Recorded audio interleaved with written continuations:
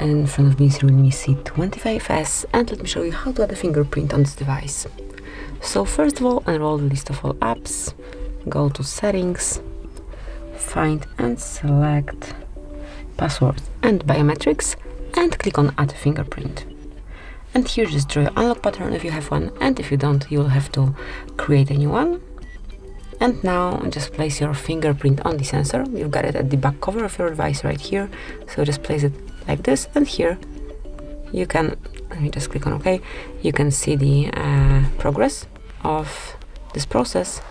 Double continue then. And just a few more touches.